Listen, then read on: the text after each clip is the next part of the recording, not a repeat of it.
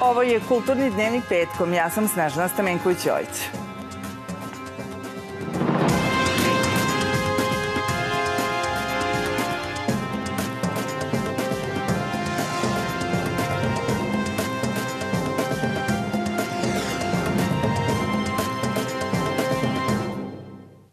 U emisiji, između ostalog, gledat ćete. Obeležen je dan Biblioteke Matice Srpske. Otvorena je dvorana Doma sindikata. 35. Nušićevi dani spremaju nagrade. A novi serijal. 28. april je dan Biblioteke Matice Srpske. Tog datuma je 1864. godine doneta odluka o preseljenju Matice Srpske i njene biblioteke iz Pešte u Novi Sad. Podsjetit ćemo da je naša prva javna naučna biblioteka osnovana 1826. godine. Osnivači Matice Srpske, na čelu sa Jovanom Hadžićem, zapisali su da je cilj rasprostranjenije knjaževstva i prosveštenija naroda srpskog. Biblioteka Matice Srpske od 1948. godine prima obavezni primjerak svih štampanih stvari i prva je biblioteka u Srbiji sa više od milion zapisa u elektronskom katalogu. Na svečanosti Dana biblioteke dobitnik Zlatne knjige, kompozitor i dopisni član SANU Svetislav Božić istakao je da to priznanje ima nesamerivu dubinu u odnosu na sve nagrade koje je do sada dobio dodeljuje se u Matici Srpskoj koja je jedina teritorija kojoj se ništa ne može osporiti. Može se dodati, ali njoj čak nije ni potrebno koliko je ispunjena vekovima, pameću, dobrim delima. Na ovaj svečani dan otvoren je renovirani katalog i atrium. Još jedan dokaz da jedna od naših najznačajnijih ustanova kulture može da računa na pomoć institucija. Zadatak i dužnost i obaveza Ministarstva kulture jeste da pomaže sve one projekte koji su kvalitetniji, koji imaju svoj smisao i cilj i koji služe za unapređenje kako zaštite kulturnog nasledđa u Srbiji, tako i savremenog stvaralaštva. Prisutne brojne ugledne zvanice svečanosti mogle su pogledati i izložbu u atriumu 180 godina javnog rada Biblioteke Matice Srpske. Između 1857. i 1859. godine sekretar Matice Srpske bio je Jovan Đorđević koji je predložio njenu koncepciju, da to bude prva nacionalna biblioteka. Negde u to vreme Jovan Đorđević piše da je neophodno da se osnuje stalno pozorište na srpskom jeziku i da moderna nacija ne može da se homogenizuje bez sobstvene kulture i negovanja jezika i da je upravo tu najdelotvornije pozorište. Đorđević inicira osnivanje Srpskog narodnog pozorišta, čiji je prvi upravnik vojnik do 1867. kada ga poziva knjez Mihajlo da dođe u Beograd i osnoje Narodno pozorište. Priču o Jovanu Đorđeviću i Nacionalnom teatru gledat ćete u serijalu Narodno pozorište u 10 činova. Studiozno posvećen projektima od izuzetne važnosti za kulturu i obrazovanje, kulturno-umetnički program RTS-a u godini u kojoj je jedan od najznačajnijih datuma naše istorije, 150 godina od osnivanja Narodnog pozorišta u Beogradu, punom parom realizuje serijal Narodno pozorište u 10 činova. Ovih dana ekipa snima petu epizodu u kojoj istražuje nastanak i početak rada Nacionalne teatarske institucije.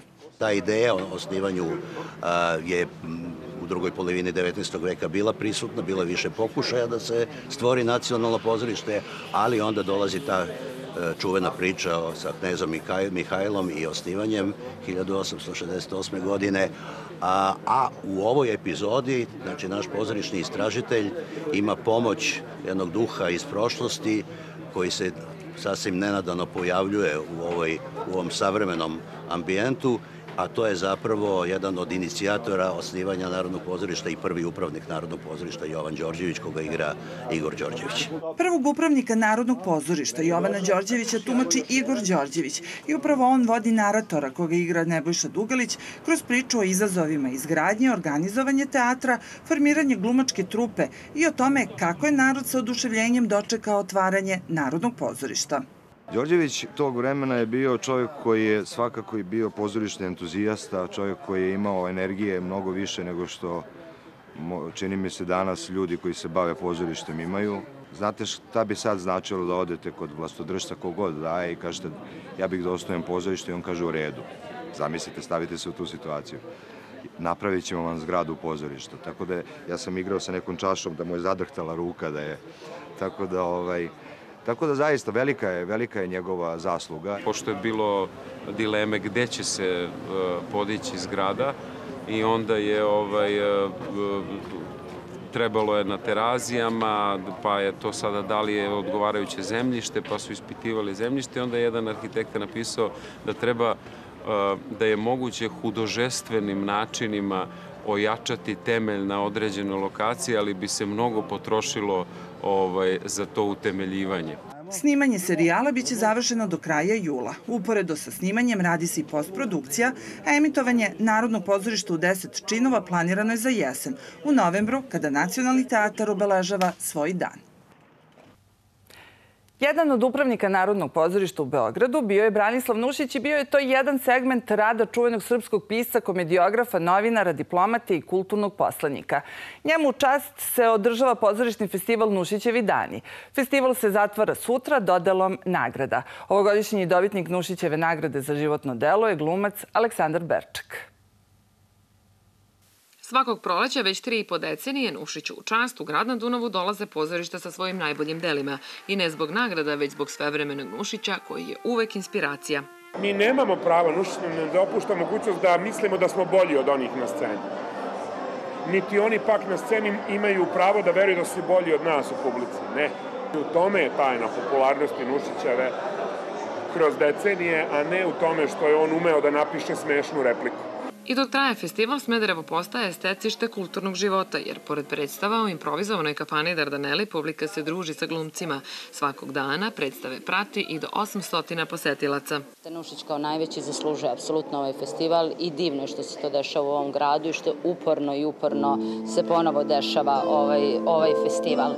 Publika, i to se vidi na publici, e, delo je negovana publika, publika koja, to se jako redko dešava, odmah posle predstave e, ustaje na noge i aplaudira glumcima. To je divan trenutak.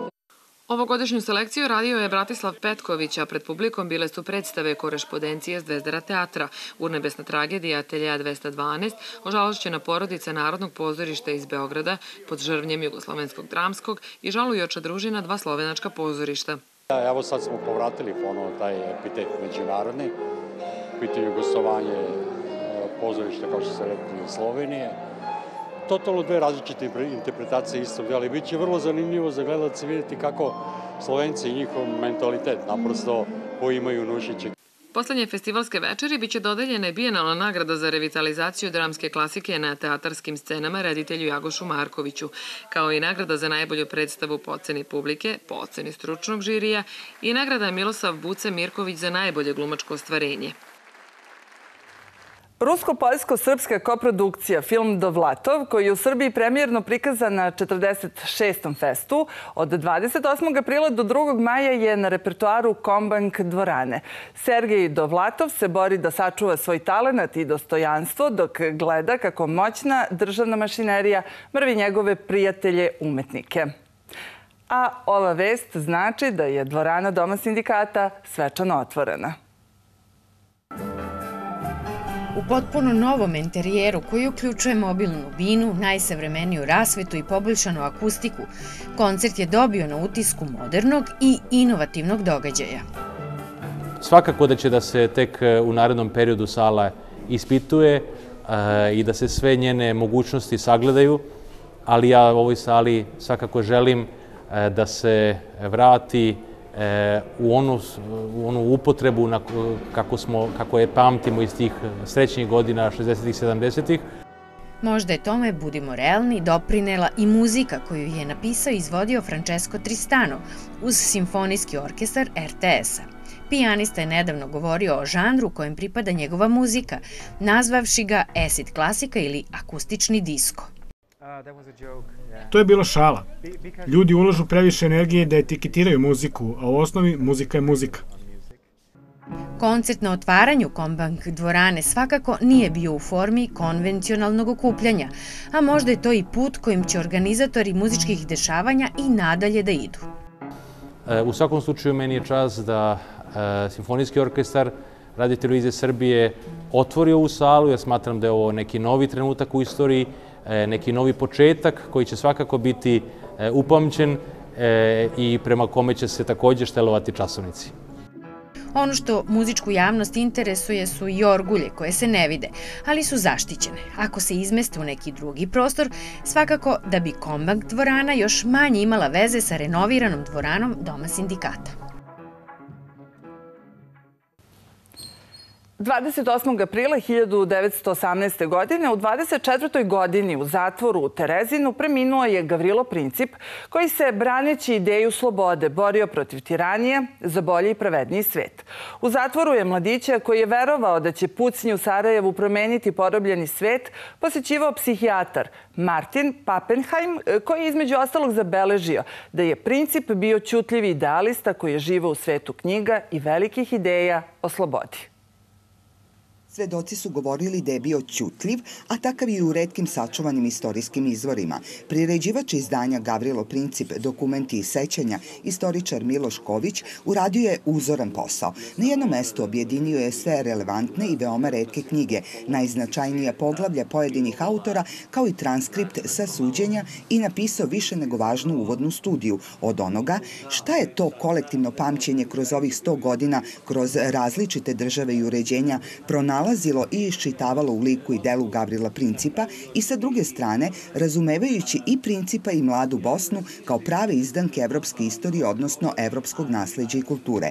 U ovom kapitalnom izdanju našla su se između ostalih sećanja Borivoja Jevtića, Dobroslava Jevđevića, koji sećanja Ratka Parežanina vezana za vreme koje je Princip proveo u Beogradu, beleške Rudolfa Cistlera, kako ga je branio, ali i tamnički zapis i pesma samog Gavrila Principa. Značajno za obeležavanje jednog veka od smrti mladog čoveka za čije ime se vezuje jedan svetski rat i najveće promene koje su inicirane njegovim aktom i više nego dostojanstveno izdanje.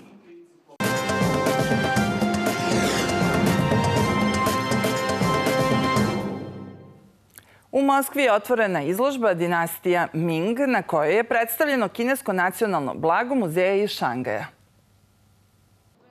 Nacionalno blago Kine pred očima ruske publike. U muzeju Kremlja predstavljena je najveća kolekcija blaga dinastije Ming, koja je vladala od 1368. do 1644. godine, a taj period smatra se procvatom Kine, privrede, kulture, nauke.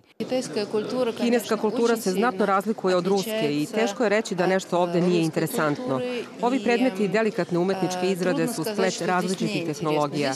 Posetiocima su najinteresantniji interesantni ukrasni predmeti, među njima 66 takozvanih paradnih figura ratnika, kao i ukosnice od žada, porcelanski servisi i izuzetne finoće. Sve te male figurine su veoma interesantne. Posebno me zanima kako su se nekada izrađivale. Vodilo se računa da ratnici budu u jednom redu. Sviđaju mi se kineske boje i detalji, kao i kineski ornamenti i želela bih više da saznam o tome.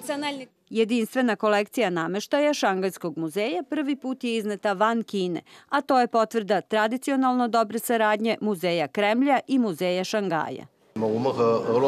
Mi smo uvek imali dobru saradnju sa Muzejom Kremlja. Ovo je naša treća međunarodna razmena postavki i nadamo se da ćemo još dugo kvalitetno sarađivati u mnogim oblastima umetnosti. Sveobuhvatno strateško partnerstvo je odlika savremenih odnosa Kine i Rusije, ocenjuju analitičari. Trgovinska razmena između Rusije i Kine, druge ekonomije u svetu, sve je veća. Prošle godine iznala je skoro 88 milijardi dolara. To je otprilike dva puta više nego pre pet godina, a ruska javnost je posebno zainteresovana za kinesku umetnost, film i slikarstvo.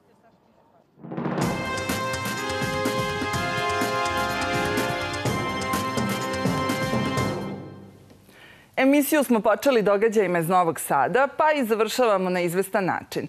Naime, naš gost je rođen u Novom Sadu, a tu je i završio Akademiju umetnosti u klasi Vido Gnjenović. Publika ga voli kao Manulaća u Zoni Zamfirovoj, Sema u Mama Mi i naravno kao Fantoma u operi. Gost kulturnog dnevnika je glumac Slobodan Stefanović. Dobroveče. Dobroveče. Uloga Fantoma reklo bi se da je najznačajnija do sada u tvojoj karijeri. Pa recimo da jeste. Mislim da je ovo ovo bila u stvari najteža uloga do sada koju sam uradio. Ja sam već 17 ili 18 godina u pozorištu na Terazijama i tu sam se negde kalio. Ne samo u mom pozorištu, nego i u Americi preko. Učili smo neke škole. Uh, mi iz pozorišta uh, uz pomoć stipendije Jacob, Jacob Spillow. Um, tako da uh, negde je ovo uh, bio zaista najteži komad i najizazovniji zadatak za mene. Uh, prvo pevački, a zatim i glumački. Jer u mjuziklu nemate puno um, nemate puno šansi da, da date to najdramskije od sebe. Ja sam nekako, pošto sam završio kod Video Gnjenović, ona je uvek pričala kako sam ja dramski glumac, dramski glumac, dramski glumac, a onda sam se odjednom obreo u mjuziklu. I nisam imao puno šanse da istražujem svoje dramsko, dramsko u sebi. Tako da je ovo došlo zaista kao jedno osveženje. Ova uloga vam je donela nagradu za pozorišno stvaralaštvo u 2017. godini. Da li glumac kada e, radi ulogu razmišlja o nagradama? Pa mislim da nagrade, ja kad bih razmišljao o tome da, da igram samo za nagrade, pa ne bi ništa uradio u životu. Mislim, to je stvarno uh, besmisao ako, ako, ako budem tako nekad razmišljao. Sigurno neću nikada, zdravog sam razuma još uvek. Ali ovaj, meni je strašno bitno da uh, prvo ja budem zadovoljan sa tim, uh, kako sam uradio ulogu. To zavisi od mnogo faktora, od toga ko je reditelj, kakva je poslavka, kakav je tekst, kakvu ste ulogu dobili i tako dalje. I na, na samom kraju, u stvari ono što jeste najvažnije i zbog čega se bavimo ovim poslom, to je da publika bude zadovoljna. Uskoro će kraj sezone. E, jel spremate nešto novo do njenog kraja ili ostavljate to za sledeću sezonu? Ja ne spremam ništa što se tiče kraja sezone, ja jedva čekam leto. Pošto sam se prilično naradio ove sezone, zaista sam mnogo, mnogo radio i a, sa strane u, i, i u mom matičnom pozorištu, tako da jedva čekam neki, neki 20. juni da se raspustim i da idem na odmor. Hvala mnogo. Hvala vama. Sutra, 28. aprila u Ateljeu 212 premjerno se izvodi komad Tanje Šljivar Režim ljubavi u režiji Bojana Đorđeva. U ponedeljak na RTS-u 1 oko 23.30 je emisija Autoportret, portret umetnika u mladosti. Gost je filmska rediteljka i vizualna umetnica Marta Popivoda. Ostanite uz program RTS-a.